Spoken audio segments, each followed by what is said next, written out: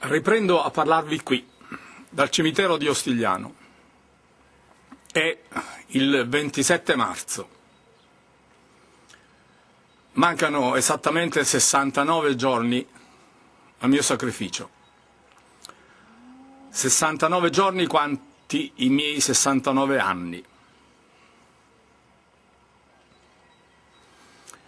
Io oggi vi vorrei far capire il perché di questo nuovo sacrificio che Dio, per quanto mi sento dire nel mio cuore, dovrebbe accettare fosse fatto da un uomo come tutti voi, in cui Dio è entrato a fondarlo interamente, a ripulirlo interamente, senza mai tuttavia trasformarlo in un santo, lasciandolo sempre uno esattamente uguale a voi, uno che sbaglia, che commette errori, uno definibile reo, rio, rio confesso, quel rio che si deve aggiungere alla rosa, che è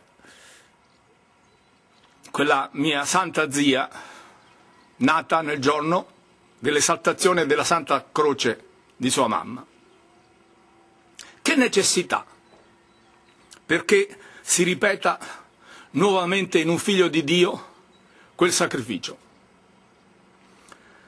Che peso dare a questa morte, oggi in cui vediamo che la morte quasi non conta più nulla, perché ci sono oramai centinaia di martiri di Allah che si uccidono nel segno di una fede stravolta per uccidere e seminare il terrore. Che valore dare proprio oggi alla morte di chi muoia ancora nel segno santo di un figlio di Dio che accetta di essere sacrificato, non che si uccide, che accetta di morire pur di confermare una grandiosa verità. Il figlio è nella stessa natura, è nella stessa sostanza del padre, qualsiasi figlio. Nella sua essenza è nell'essenza totale, globale del padre, che è l'unica essenza in grado di dargli entità nell'equilibrio dell'insieme di tutto l'essere. Questa essenza che accetta il proprio sacrificio per il bene poi proprio di quella globalità, perché si avverte la necessità assoluta di questo sacrificio personale a vantaggio di tutti.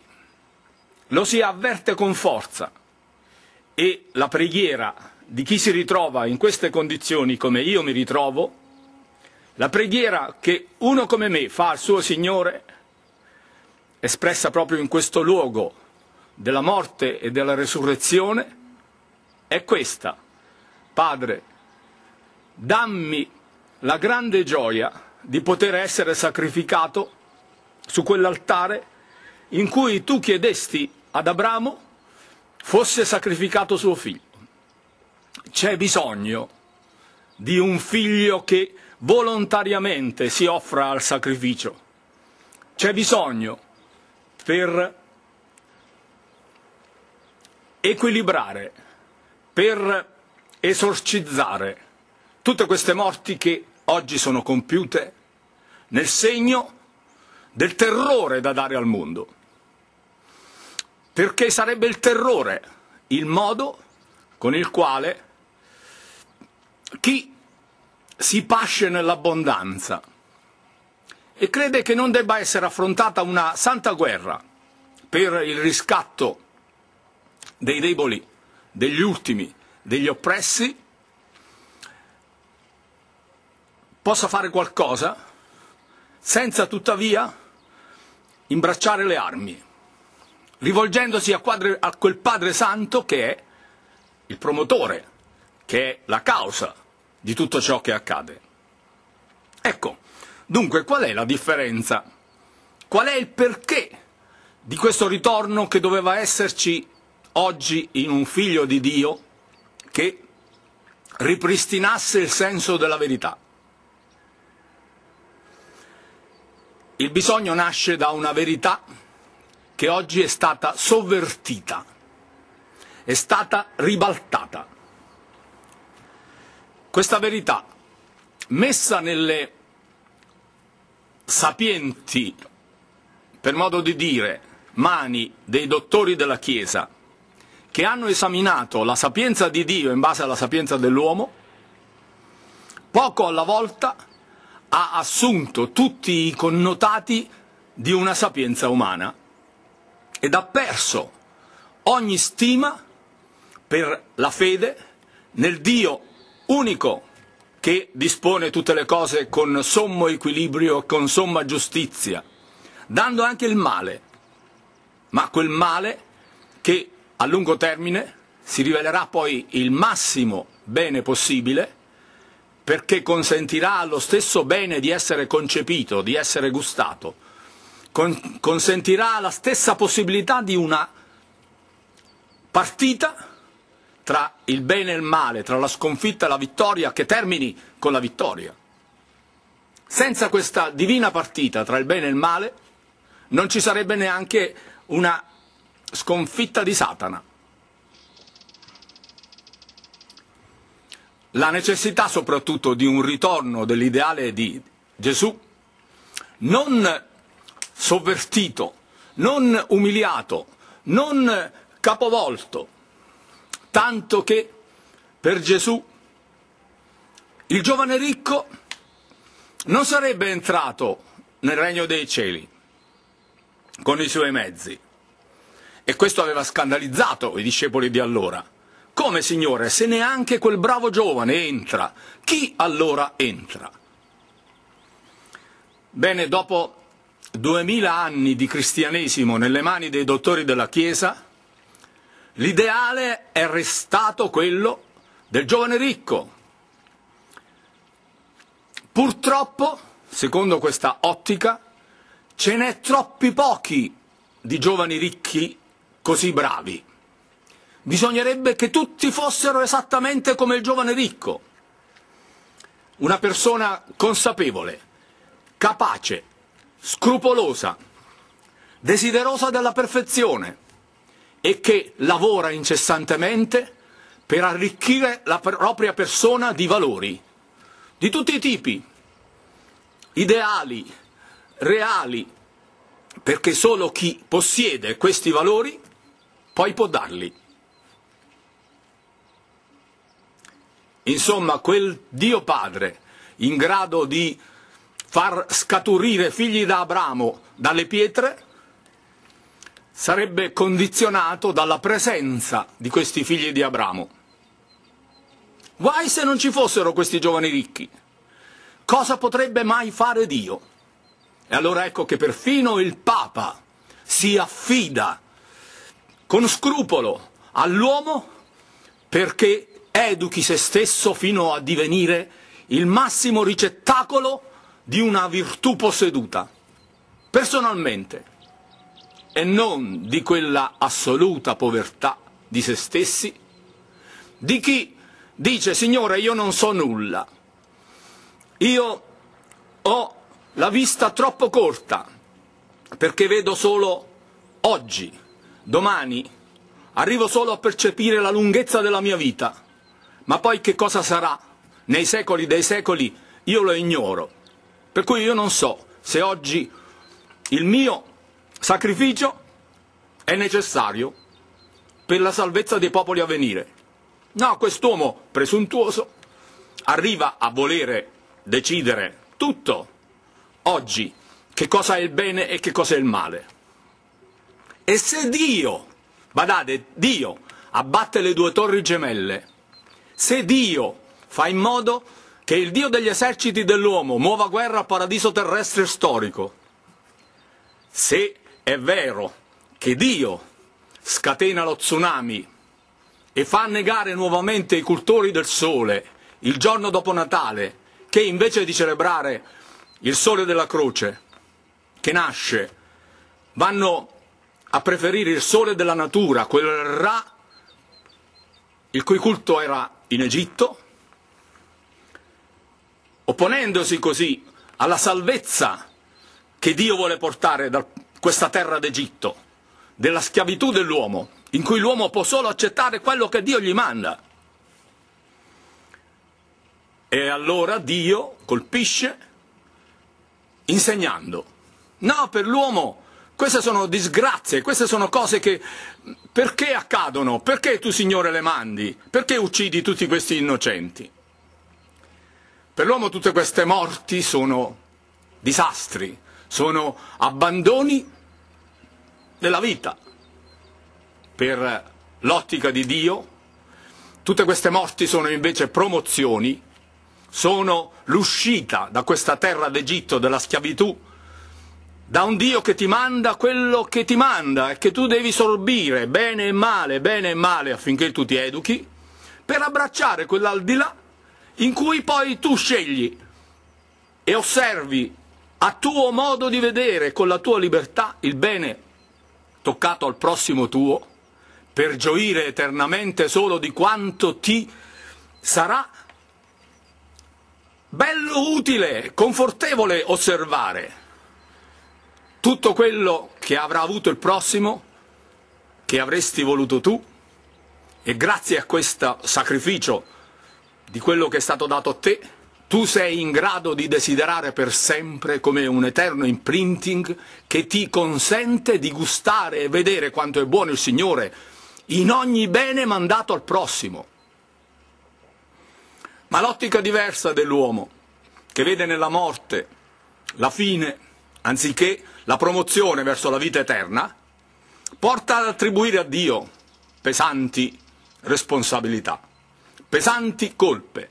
E l'uomo si oppone a che Dio, pensate, quel Dio onnipotente che manda tutto quello che deve venire perché educhi l'uomo, anche quando si tratta dell'abbattimento delle due torri gemelle, a indicare come la Chiesa cristiana abbia abbattuto le due torri gemelle fede e ragione, volute sorte dal Papa Giovanni Paolo II, e la che la Chiesa saronnese ha stroncato, ha abbattuto, non riconoscendo assolutamente la verità delle cose fatte dire a me da Dio, in presenza di una cosa così, che cosa bisogna dire? Bisogna dire che c'è veramente il bisogno di un rispolvero della verità, ma ora affrontata sotto l'aspetto vero. L'aspetto vero delle cose non è questa realtà, è quella di cui Gesù Cristo è il Re. Gesù lo diceva, io sono il Re di un altro mondo, eppure il suo Vangelo è stato usato per imporlo assolutamente solo in questo mondo. Nessuno quasi spera, prega per andare nel mondo di Gesù, perché teme la morte, la paventa come la fine di ogni cosa. Rimane annegato in questo disegno che Dio fa e non è capace di uscire da questo eh, modo di vedere reale e imprigionato in questo scenario della divina commedia di Dio, tanto che nessun uomo riesce a salire al livello del creatore di questo disegno. Un canto cristiano canta così. Dio si è fatto come noi per farci come lui. Ecco, in questo canto sono espressi i due tempi della salvezza. Il primo tempo è Dio si è fatto come noi. Dio è sceso nel suo disegno, si è impersonato nel suo disegno.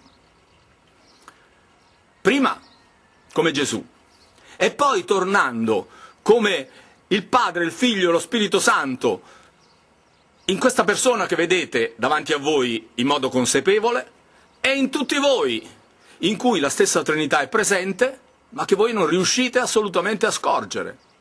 Non per incapacità, per il disegno di Dio in questa, in questa divina commedia della vita. In questa divina commedia della vita, il personaggio solo, unico, in cui il Dio della consapevolezza si impersona, senza alcun merito è toccato alla mia anima, che è uguale alla tua, a cui è toccato soltanto di dire io sono il personaggio. Dite tutti voi io sono il personaggio.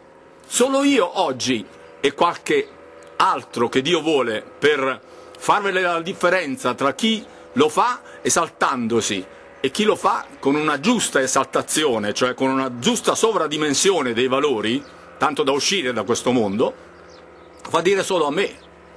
A me, per esempio, a quel Ali Akcha che si pone consapevolmente, afferma sono Cristo, ma tutti voi potete giudicare se questa affermazione poi possa essere rapportata al Cristo della salvezza, quando il personaggio attenta alla vita di un'altra persona ed è addirittura quella del Papa.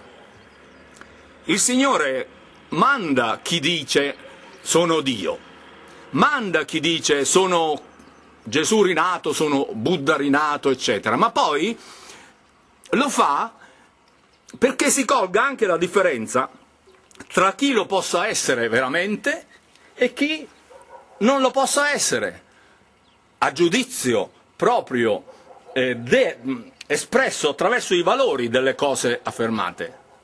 Ma quando questi giudizi che sentite da me sono gli stessi di Gesù Cristo, allora dovete realmente credervi se l'ideale di Gesù Cristo non si sia veramente incarnato in una persona.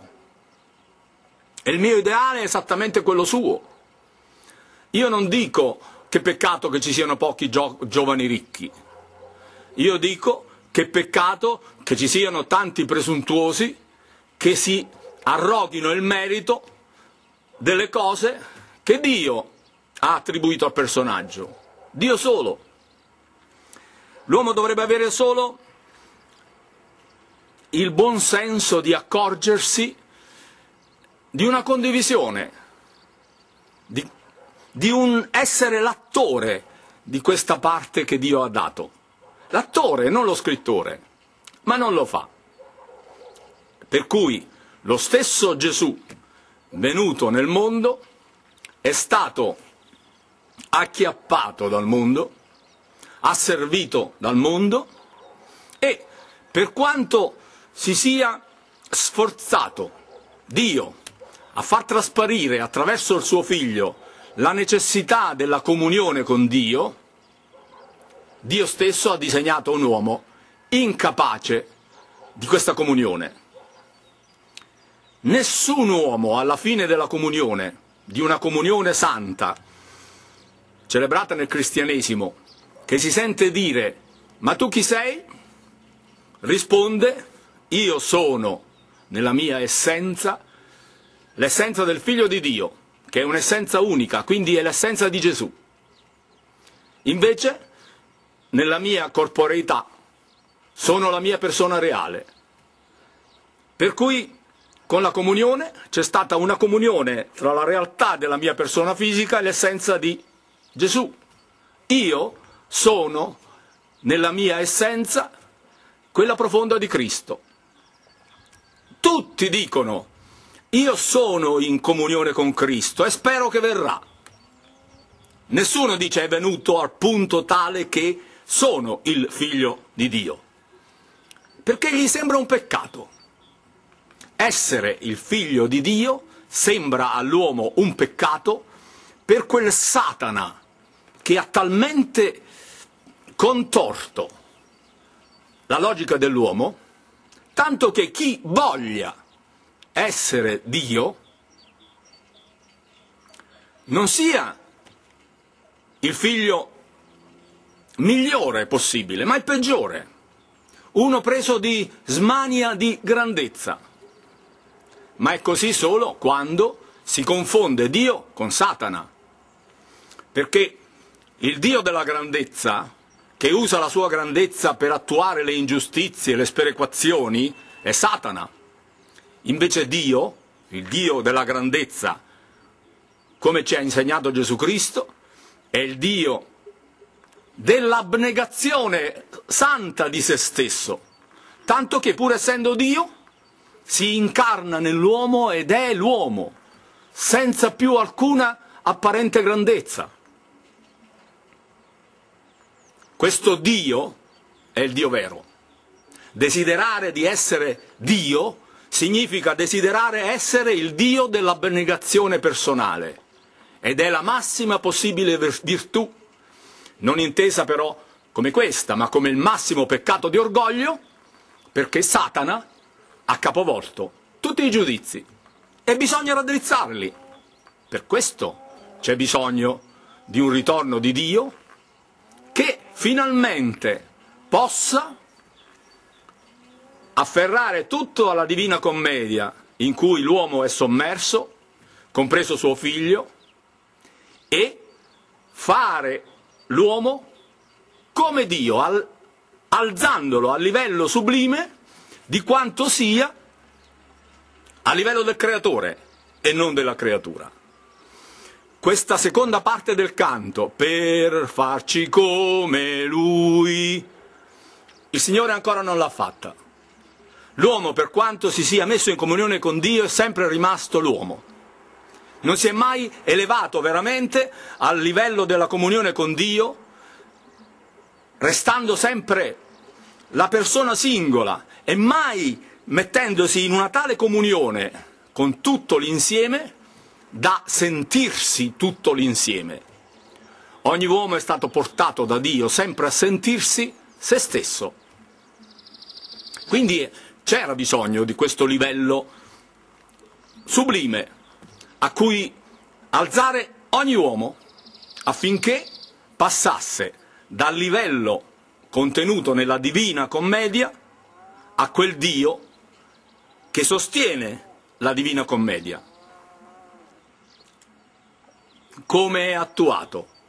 Fondamentalmente è attuato attraverso chi dica all'uomo ad ogni uomo, tu essenzialmente sei Dio. Bisogna che tu riconosca nel tuo limite la presenza sublime di un Dio che ha assunto nel tuo limite la sua croce e porta in giro la tua croce. È questo Dio che porta la croce, è questo Dio che è venuto alla ricerca della verità che ha fatto venire l'uomo fin da 27 secoli alla ricerca della verità e ai piedi della montagna della stella ha fatto scoprire il fondamento dell'essere, quel fondamento che è il fondamento di ogni creato ed è il creatore. Se l'uomo non sublima la sua vita, resta sempre intrappolato in quella divina commedia piena di morte, piena di dolore, piena di una sofferenza patita come il massimo male. Se Dio, nella persona di Gesù, ha chiesto al giovane ricco diventa povero, soffri anche tu, gli ha posto davanti l'ideale della perfezione, che non è la ricchezza, di valori, qualunque essi siano, ma è la tale povertà di valori su un credito dato esclusivamente alla propria persona se staccata da Dio per riconoscere la validità di quel prodotto tra la parte ennesima e tutto l'enne che ripristina Dio, quel Dio uno, come quella forza strepitosa che agisce su qualsiasi valore ennesimo e lo fa esistere sempre, sia come quello che ha ora, sia come tutto quello che gli manca e che lo completa, lo completerà come una forza. Ecco, ora deve accadere questo prodotto di un ennesimo per n, tanto che diventi uno e si affermi la realtà dell'essenza del Dio unico. Ora deve accadere e deve accadere come riconoscendo nell'uno fratto n, nel valore ennesimo che è ciascun uomo, in quell'uno che sta come il numeratore di n, tutto l'uno, tutte le n quantità ennesime, tanto che nel valore ennesimo sia riconosciuta l'unità in cui assolutamente e solamente può esistere. La parte non può esistere da sola. La parte può esistere solo se prima esiste il tutto. Riconoscere che l'uomo possa esistere in parte, come quella parte che è toccata all'uomo a mano a mano che egli vive la sua vita, è un dar credito a una bugia. La parte da sola non può esistere perché è proprio una parte di, una parte dell'unità. E quindi quella cosa che vale è l'unità. Nel valore 1 fratto n, l'uomo deve riconoscere come 1 il valore di Dio, il valore del totale, il valore n. Perché lo è. La parte da sola non può esistere. L'essere non può essere che in tutto l'essere. E allora l'uomo, se vuole veramente abbracciare la sua verità e uscire da questo disegno determinato, quindi parziale, quindi momentaneo, cosa deve fare? Deve riconoscere la sua appartenenza nel disegno globale, complessivo, totale, in quello che noi chiamiamo Dio. Ecco, per farci come lui. E ottenuto attraverso me che ti dico, o oh amico che mi ascolti, tu sei Dio. E tu sei Dio. E tu sei Dio. E voi e tutti noi non siamo la parte, siamo l'insieme che si è calato nella parte ed esercita l'onnipotenza di Dio. Dire che Dio è onnipotente vuol dire che è il tutto e il suo contrario, che non soggiace di una visione qualunque essa sia, anche come la sovrabbondanza del tutto. Perché se lo facciamo esistere come la sovrabbondanza del tutto, allora deve esistere anche il niente. Perché Dio è tutto e niente. E sono i due valori che messi assieme formano l'onnipotenza, la possibilità di essere tutto. Ora, se fate fatica a capire una cosa del genere, come sia possibile, io per farvela capire mi riferisco a un sistema che comprenda tutto il possibile, il, il totocalcio. Sapete che tutti i giocatori fanno il loro pronostico. Quando il pronostico è libero, accade che in certe partite c'è una quantità enorme di 13, quando c'era il 13. Ma non è così la vita. Nella nostra vita nessun, nessuna previsione esattamente uguale a un'altra, perché sono state tutte attribuite all'interno di un sistema onnipotente, fatto da 13 triple. Nel sistema di 13 triple non c'è evento che possa accadere che non sia previsto. Di conseguenza noi possiamo eh, confrontare per capirlo l'onnipotenza di Dio a quella del sistema integrale. Ho anche spiegato che poi i valori legati al nostro modo di vedere sono proprio condizionati a quel 10 alla quarta, cioè a 10.000 unità, che sono quelle ideali a partire dal modo di vedere il tempo come una dimensione e dal modo di vedere lo spazio come l'interazione tra tre dimensioni, tanto che poi lo spazio più il tempo formano quattro dimensioni in potenza che noi osserviamo con la base 10 e 10 alla quarta 10.000 esprime quello che potremmo dire sono tutte le colonne di una possibile previsione uguale e distinta.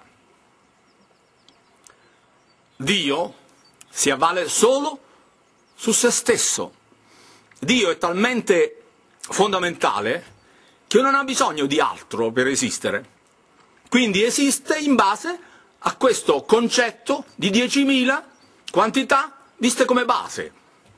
Per cui il totale delle possibilità legate alla dimensione essenziale percepita dall'uomo è proprio data da un universo che comprende tutti i tempi e tutti gli spazi di una possibile percezione dell'uomo, formati da 10.000 in potenza di 10.000 unità. Ma in effetti poi questo universo va anche oltre. Perché? Perché non è un qualcosa di reale, che esiste veramente, è un qualcosa che esiste se percepito dall'uomo mediante delle divisioni. Lo dicevano perfino gli antichi romani, Cesare lo diceva, se vuoi comandare, divide e timpera, dividi e comandi. È in questo modo che Dio opera. Crea la divisione tra parti che però sono moltiplicate tutte tra loro e quindi determina una vita di relazioni, di interazioni che sono questi prodotti, che a mano a mano che sono fatti, e sono fatti tutti, si ripristina l'unità. La nostra realtà è percepita quindi per divisione. Se noi arrivassimo al limite estremo dell'universo sensibile che possiamo vedere, e che è condizionato appunto da questi 10.000 elevato a 10.000 unità, noi sposteremmo semplicemente questo apparato di percezione fino a quell'estremo limite. E scopriremo che non siamo al limite dell'universo, ma che siamo sempre al centro di questo universo, perché anche nel verso finale, diciamo, di questa cupola il cui limite estremo è la nostra possibilità, a mano a mano che noi spostandoci verso quel limite introduciamo verso quel limite nuove suddivisioni, noi riusciamo a cavare dal tutto nuove dimensioni, perdendole da quest'altro lato. Quindi l'universo che esiste esiste solo come una capacità e una possibilità di riuscire a dare forma reale e concreta semplicemente a delle ripartizioni numeriche. Io vi sto parlando dell'italiano che è eh, la lingua in cui Dio sta dicendo la verità e la sta dicendo, ehm, ve lo sto raccontando ma non l'ho ancora spiegato perché, perché ehm, in me si è presentato, in me italiano, e ha voluto che la lingua italiana fosse la lingua della verità. È tanto vero che la lingua della verità dice il vero, che quel fondamento di tutte le cose che diceva Pitagora fosse il numero, che nome ha in italiano? Il nume, nume vuol dire Dio, Ro. Ma Ro è un numero. Ro è il numero 16. Perché la sedicesima lettera di questo alfabeto italiano? La R. Il suono sto parlando io. La massima vibrazione possibile della lingua. La massima vibrazione possibile della lingua sono proprio quelle unità che sono 16, ovvero quanto 2 alla quarta. La potenza 4 è quella della realtà spazio-temporale, la base 2 è il nostro modo di vedere la realtà attraverso un complesso di opposti, come tutto e niente, questa opposizione che è Dio. L'unità di Dio non è data da una unità, ma da una coppia. Perché? Perché uno non è un prodotto numerico a sé stante, è un rapporto tra enti uguali. n fratto n è 1, qualunque sia il numero n. Un numero qualunque elevato a 0 è 1, qualunque sia la base. Vedete il numero, che è il fondamento, è realmente il fondamento di tutto, è realmente nell'ordine stesso di un Dio che ordina attraverso questo numero, questo Dio Ro, che poi è quel Cristo, Christos, Chi, Ro, Chiro, quello qui a Ostigliano, quello qui nel Cilento. Perché dunque la necessità di questo ritorno di Dio? Per quello che nel romanzo Quo Vadis già fu accennato. Pietro, alla fine, arrivato a Roma, stava andando via da Roma perché temeva che a Roma lo crocifiggessero. E nel romanzo voi dite ma è un'opera umana, ma non c'è niente di eh, opera umana. Ogni opera, anche quella che sembra scritta da, dall'uomo, è scritta da Dio, che crea creatori, di creatori, di creatori, ma alla fine l'unica creazione è sempre quella di Dio. Per cui nel Quo Vadis, quando il personaggio di Pietro incontra un bambino che gli chiede ma dove vai? E Pietro gli risponde vado via, eccetera. E gli dice il bimbo che lui sta andando a Roma. Perché si deve far crocifiggere nuovamente? Perché Pietro se ne va. Ecco, questo racconto è stato proprio riferito a quello che sta accadendo adesso. Gli ultimi pappi sono Pietro che se ne vanno. Sono i Pietro che hanno talmente abbracciato la logica dell'uomo che si sentono talmente coinvolti in dover fare le cose che se non le facessero loro Cristo non le farebbe, che sono coloro che abbandonano Roma. Roma o l'amore.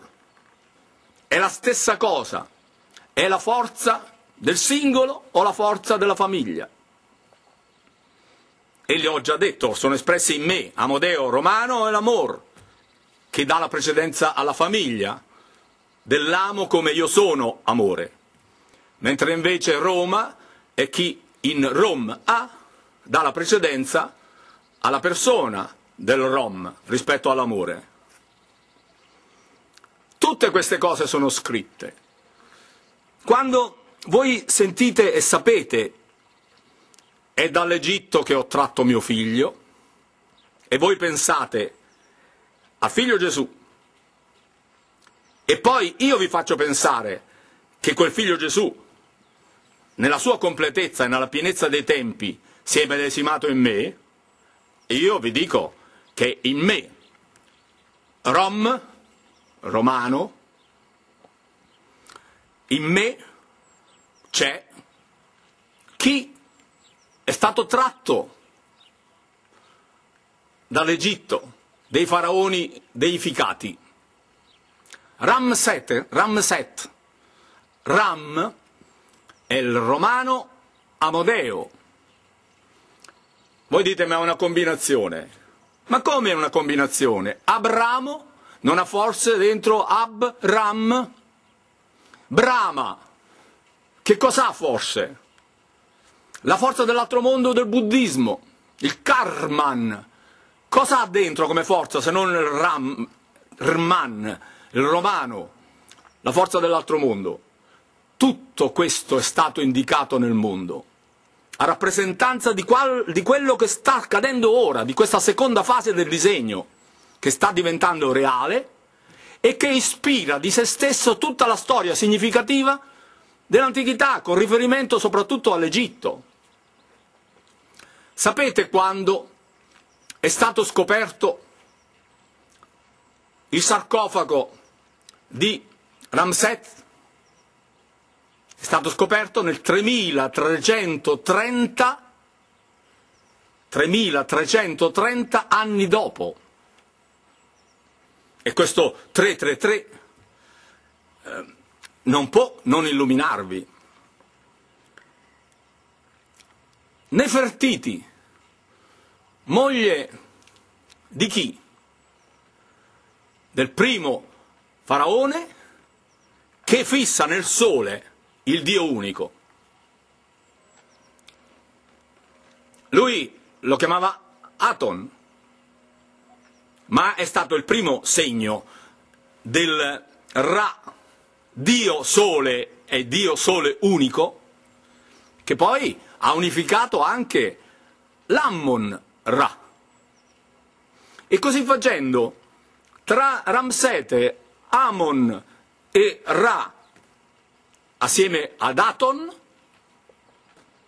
si creano i presupposti salienti, scritti nei nomi della realtà, da questo Dio che si fa precisare, scritto nella realtà, per quanto ha riguardato la presenza in me, Romano Amodeo, Ram, quel Ram che per altri versi nel, nei computer è la memoria. ROM o RAM sono le due memorie, una di tipo di fondo, un'altra momentanea. L'XP, che è Kiro, che è Cristo e che è nel sistema Windows. Tutti questi segni sono segni reali che in questo momento è iniziato. Che cosa? Il momento per ritornare alle origini io vi sto facendo vedere il monte della stella perché in questo luogo è nato lo Spirito Santo della verità divina, quella che va oltre le apparenze, quella che fa riconoscere nella realtà non quello che è precario, momentaneo, passeggero, ma quella verità fondamentale, immutabile che è l'essere. L'essere quello immutabile, quello che non è condizionato dal divenire, è l'essere che appartiene al livello superiore del Dio Yahweh, del Dio dell'essere, a quel livello del creatore di questo nostro creato. Noi finalmente dobbiamo uscire da questo creato per avvalorare non la creatura, ma il creatore che è in noi. Solo in questo modo l'uomo riesce a salvare la sua vita. Solo questo deve essere quello che è fatto ora e solo questa è la novità assoluta di cui c'era bisogno per riuscire a consentire la fine del sacrificio di Dio che si immola per tanti uomini che non lo riconoscono vero in sé pur vedendosi essere che credono che il loro essere sia quello del movimento del burattino, indipendentemente dal burattinaio che lo muova. Una cosa assolutamente impossibile. Non può esistere un Pinocchio, non può esistere un Renzo e Lucia nei rispettivi romanzi di Pinocchio e i Promessi Sposi se non vivono della vita, il primo del Collodi, il secondo del Manzoni, la vita di Pinocchio, la vita di Renzo, Lucia, Fra Cristoforo, sono vite che esistono se il loro creatore ha rinunciato alla sua vita per far esistere la vita dei personaggi. Ma questi personaggi da sé non vivono. In un romanzo giallo, il romanzo non esiste nei personaggi, è il creatore che esiste nei personaggi e fa esistere anche l'assassino fa esistere anche chi tenta di imbrogliare, chi tenta di compiere ogni malefatta. In pratica questo creatore è un reo, perché per animare una bella partita tra l'ingiustizia e la giustizia, tra il bene e il male, crea presupposti ideali in cui queste cose esistano in un divenire teorico, in un divenire illusorio. Ma è illusorio. Lo scrittore di romanzi gialli non è un assassino se studia a lungo quale possibile delitto, quale possibile atrocità possa essere compiuta. Non è un assassino. Però, nel preciso momento nel quale si pone come un padre che per rendere possibile una vittoria deve considerare e fare in modo che esista anche la sconfitta, accetta di compromettersi e fa esistere il bene e il male, come una lotta reciproca. Ecco, io sto esaltando in questo momento della mia vita questa funzione di un Dio Rio, di un Dio reo che si appropria di tutto il male e bene che esistono al mondo e dice all'uomo guardate che è tutta e solo opera mia, è tutta sola opera di Dio, del creatore e non della creatura che unicamente condivide, unicamente osserva, unicamente si appropria come attore di questa parte da interpretare. Voi siete oggetto solo della interpretazione di una parte già scritta e siate felici di questa mancanza assoluta della libertà fattiva, perché Dio si deve qualificare come l'unico vero responsabile della vita. Per questo l'uomo deve avere povertà di spirito, perché deve riconoscere che nulla dipende dall'uomo. Non si inebri di essere buono o di essere virtuoso o di essere... No, perché se si appropria di questi meriti li toglie a Dio. È invece molto, molto più facile all'assassino, al furfante, alla prostituta, alla meretrice, a chiunque compie opere di male, che inevitabilmente, attribuendo, come tutti, a se stesso queste azioni, riconosciute indubbiamente colpevoli da ciascuno, nel preciso momento in cui ciascuno le attribuisce a se stessi come colpa, toglie la colpa a Dio. Sacerdoti, voi che credete di essere i seguaci di Dio e che lo imponete come un fardello sulle spalle un fardello che poi voi non volete portare, voi che vi appropriate di questi meriti che credete che Dio vi ha concessi per fare la sua mano, voi, nel preciso momento in cui lo fate, credendo di essere voi a farlo, vi state appropriando del merito che appartiene solo a Dio. Voi siete più colpevoli di quanto non sia un furfante che attribuisca a se stesso la sua colpa. Per questo, quando arriverà il momento di un giudizio, voi vi sentirete più in colpa di quanto non si senta chi, essendosi addossato della colpa di Dio, l'ha portata assieme a lui. Se ne è caricato lui e non l'ha attribuita a Dio. Vedete, è difficile da capire.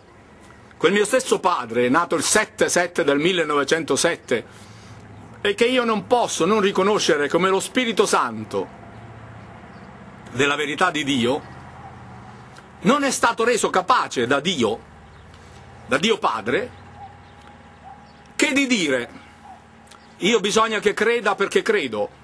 Se mi metto a pensare e a osservare tutto il male che esiste nel mondo, io perdo la fede era sovrastato il mio povero padre dal disegno, da quanto era nel disegno. E non riusciva a scorgervi una volontà del padre di creare una possibile partita per una possibile vittoria. Questo dovete arrivare a capire in me, quel contrasto che vedete in me tra cose enormi, grandiose, uniche che Dio mi ha fatto in apparenza fare nella mia vita e quelle cose così deboli, precarie, legate alla mia umanità, legata anche alla mia incapacità di esprimervele come ve le esprimerebbe un grande attore. La vedete, la scorgete in me che vi parlo, quella incapacità di esprimere come si dovrebbe le cose che vi sto dicendo. Non vi sembra un po' che io reciti? Eppure io non sto recitando, io sto semplicemente trasmettendo a voi il, quella verità di Dio che Dio mi ha detto di esprimervi. Però non sono capace di esprimervela eh, senza che la mia umanità mi porti a quella incapacità di esprimervela, ripeto, come farebbe un grande attore che saprebbe dare peso alle parole, tale peso da avere un credito. Ma perché sono Rio, perché io stesso sono l'immagine del bene e del male messo dal Creatore nella mia vita, perché fosse di esempio a voi. Io, quello che vedete presente in me, sono il solo colpevole che si carica addosso di tutte le colpe e che, grazie al fatto che dice io sono Rio, io sono reo, le toglie a voi. Le toglie a voi in combinazione con l'essenza pura del figlio. Perché le colpe sono due. Io vi tolgo quella vera, quella reale, ma poi rimane quella colpa del cuore, che è la reazione vostra libera, quella del vostro gusto, di fronte alla vita che siete chiamati a fare. Voi potete parteciparvi condividendola con le vostre intenzioni, oppure no. Se la condividete con le vostre intenzioni e la vita che state commettendo è una vita colpevole, avete la colpa del cuore, che è pari alla vostra libertà. Bene, il puro Gesù, che è in me, vi perdona di questa colpa, grazie alla sua morte. Io, invece, vi tolgo la vostra colpa del tutto, non ve la perdono, ve la elimino, perché vi dico, il fare non esiste. Vi dimostro che la vita è vista avanzare in base a una retrocessione, a un disfarsi dei gesti della vita. Una vita che si disfa genera la percezione opposta di una vita che si fa laddove fare e disfare sono solo semplici modi di apparire di uno zero che diventa uno o di un uno che diventa zero, quando invece esiste sia lo zero sia l'uno. Il divenire dallo zero verso l'uno e dall'uno verso zero non esiste, esistono solo tutte e due le possibilità, zero e uno. Ed è proprio sulla loro base, su questo complesso coesistente, che poi si crea il Dio onnipotente che è tutto, cioè l'intero, ma è anche niente, lo zero in atto, però tutto in potenza. Lo zero in potenza è l'unità. E quindi il nostro mondo, questo che vedete combinato qui nella nostra realtà, non è altro che l'ipotesi resa reale dalla percezione di condizioni progettuali che sono state attribuite a ciascuno e non vi condizionano, se non nella loro ottica diveniristica, tale che poi voi ne vedete solo un pezzettino, ma non potete immaginare che per voi valga solo quel pezzettino. Per tutti vale il sistema onnipotente di tutte le possibilità, perché è un sistema unitario. Ecco, voi oggi dovete smettere e vi ho dimostrato per quali ragioni, di concepirvi in questo disegno precario in cui tutto accade nel tempo opportuno, partito da lontano, da Ramset, da Dio Aton, da Ra, da Amon, da Abramo, chiamato Brahma in altre parti del mondo, in questa divina commedia che si sta svolgendo, dovete rendervi conto che calati in questo momento siete solo in una parte, dovete capire, dovete abbracciare l'amore a partire dalla parte, da tutta la parte che vi manca e dire quello che io oggi non ho lo avrò. Perché? Perché questa ripartizione è solo un modo di vedere di chi è diviso però è interattivo con tutti gli altri e attualmente sta osservando la sua divisione mentre invece vale l'interazione. Io sono soltanto al centro di una prodigiosa opera di conoscenza grazie al quale poi il Dio uno diventa onnipotente perché si è fatto tanto piccola cosa che poi ha davanti a sé come connaturato il suo paradiso.